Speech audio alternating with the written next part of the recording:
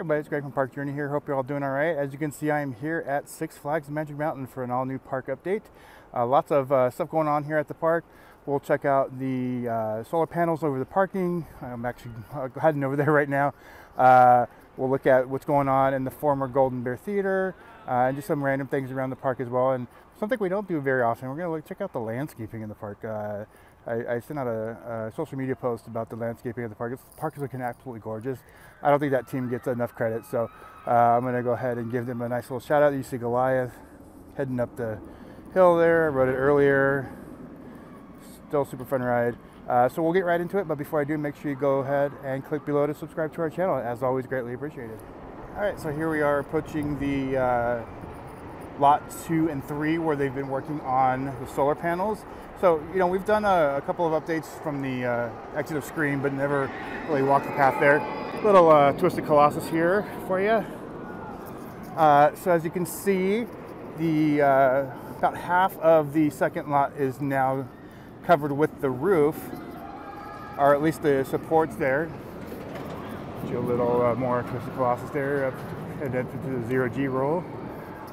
Uh, so as yeah, so uh, you can see the, the supports. Can't tell if the solar panels are already there. It looks like they probably are on the first set there, and then the back set, obviously you can see that nothing there. I'm guessing those boxes there are all of the solar panels. So I'm going to keep walking around to the second part because I did hear that uh, some repaving is going on. So apparently they install all this stuff first and then they do the repaving, which is if you visited this park anytime in the last, you know, 25 years, uh, you know that a uh, repaving of the lot is something that is very, very, very much needed. So it looks like that is happening.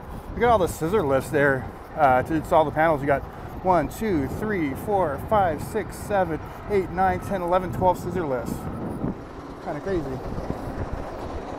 It looks like we might actually be getting a duel on uh, Twisted Colossus here. So let's uh, let's take a little breather here. See if we can't get some uh, dueling action here on Twisted Colossus.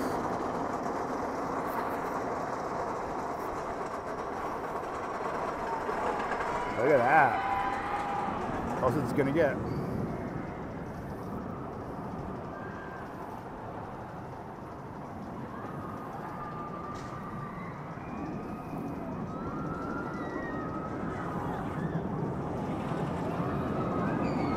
Stall, zero G. Look at that. What timing. So anyway, yeah, so I'm gonna head back towards the, uh, the third lot here. I'm gonna walk all the way back today, get some more steps in. So as you can see, there are parking people in the second half of the back lot there, or the second lot, excuse me. So I'm going to assume that that'll be where they concentrate on next.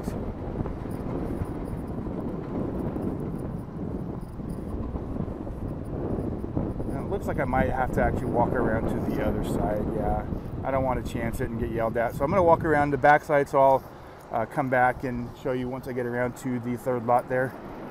So I'll get some more steps in. All right, so here we are on the other side. So yeah, you can see panels aren't on that uh, section there. They are on that first section we looked at.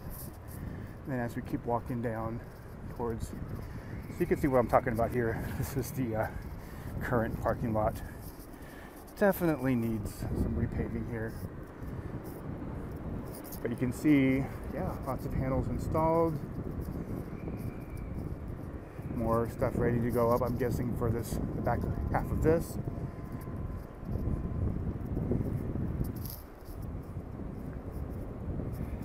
So I'm guessing at some point in the near future before they start back here on the right side, they will open up this section, hopefully after the repaving, as I mentioned.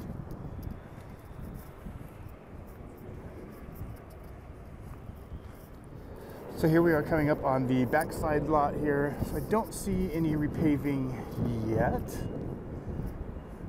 Although down at the far end, it looks like they might be, yeah, actually does You can kind of smell it a little bit too. So down at the very far end, way down there, looks like some paving is going on here. And then you can see here too on this side, they've got the, I'm gonna call them junction boxes.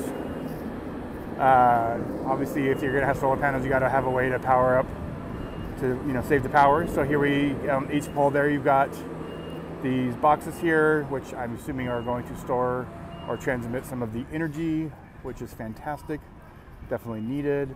Uh, more scissor lifts back there, so wow, that's now what 14, 15, a lot of scissor lifts. Uh, so this is a rather large project, and then you can see here we got an earth mover, got more trucks, and then as I mentioned, that truck is in the way now. I'm not gonna if I can get around to the other side, but uh, it definitely looks like they're doing some paving all the way down at the far end there. So yeah, uh, definitely moving moving fast. Uh, so hopefully they'll get this done hopefully before summer, before Hurricane Harbor opens. So the speed they're working now, I would imagine that at least these first few lots will be open, and then they can start working on basically all of this here. All right, everybody. So in the park here, we'll take a look at what's going on in the former Golden Bear area. Some signage has been added since our last update. Not really anything specific, just some clues. And it looks like more concrete has been removed from the Golden Bear area as well. And you can very clearly see now CraZanity on the other side of the hill. So just some signs here for season passes.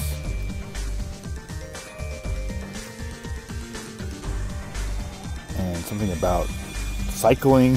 So uh, definitely um, some thoughts about maybe a motorcycle type coaster.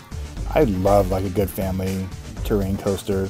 And then some uh, list of the 2024 events so we can all plan our calendars accordingly. But yeah, I mean, if it is something like a uh, you know like a motorbike coaster or something, I'm actually okay with that uh, as long as it has a height requirement that makes it more of a family coaster. Um, park definitely needs more mid-sized coasters that have a height requirement of less than 48 inches. As of right now, the only coaster outside of Bugs Bunny World that has less than a 48 inch height requirement is Ninja, which is 42. Some new trains on Gold Rusher would allow that to hopefully maybe get down to below 48. But yeah, so I, I, would be okay with a nice family terrain coaster in this area. I think it would fit with Bugs Bunny well. I know that that would disappoint a lot of people because everyone wants a Giga, uh, but that's really something that the park is lacking. I don't know if a motorbike coaster would really fit the bill unless there was motorbike seats and then normal uh, seats for, you know, have a lesser height requirement. But we'll see. Typically, Magic Mountain and Six Flags would do their announcements in August, but we'll see what happens. They haven't really followed that in a few years, so we'll stay tuned. Up near Viper, they're uh, on our last update. They were doing this some work on the coaster murals here. Still doing some work. Uh, so maybe this is part of the announcement for whatever it is they're bringing in, and it'll be a part of the coaster mural, uh, or it's just maybe standard refurb work. Not sure. Speaking of refurb work, uh, Scrambler is currently under refurbishment.